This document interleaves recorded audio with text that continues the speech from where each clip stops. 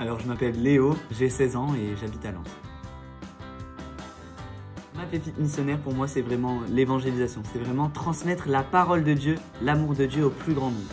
Et j'ai été aidé par mon prêtre, le père Florentin, qui m'a emmené notamment au congrès mission où on a vraiment appris à transmettre, à diffuser l'amour de Dieu. Quotidiennement, moi, comment je fais? Ben, En étant joyeux, en vraiment en, en, ayant de la charité, en montrant vraiment je suis aimé de Dieu et que je transmets cet amour au plus grand nombre en étant souriant, en aidant les autres. Et ça, vraiment, c'est ma petite missionnaire.